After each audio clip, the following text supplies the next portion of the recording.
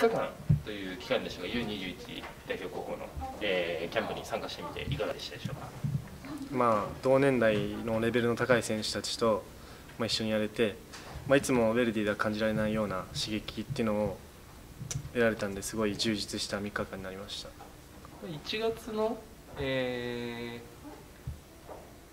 ー、AFC の大会の時以来だと思うんですけれども、まああのー、代表でやって、まあ、またベルディとはこう違ったものがあったと思うんですけれども、まあ、3日間の中で何かこう得られたもの受けこう感じられたものとかってありましょ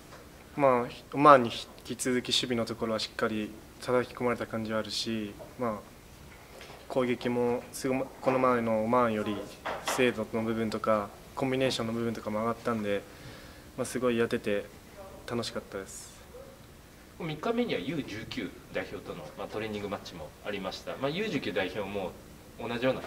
あのオリンピックを目指す年代になってくるとえー、ゆくゆくはこう組み込まれていく年代だと思うんですけれども、まあ、そういった世代ともこう対戦してみてこういかがでした？自分たちこう若手年代日本代表。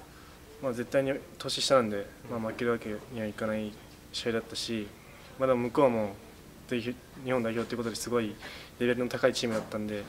まあ、一緒に高め合って、まあ、これから上を目指していく上でとてもいい試合になったんじゃないかなっていうのは感じました。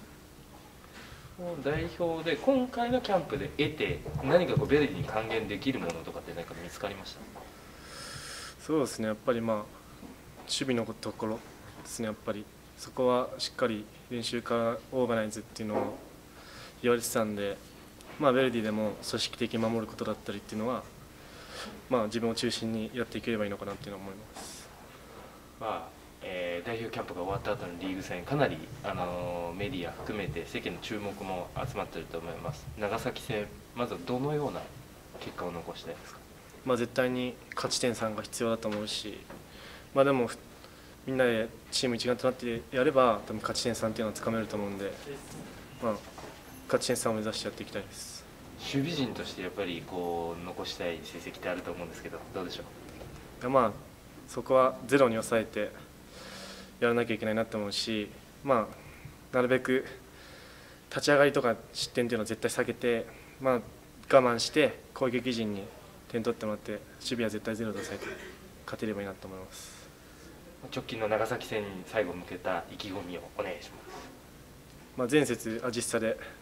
点決めてるんで、まあ、また点取れればいいなと思うし、まあ、守備とし守備陣としてまずは絶対にゼロに抑えて、まあ、勝てるように力を出せればいいなと思います。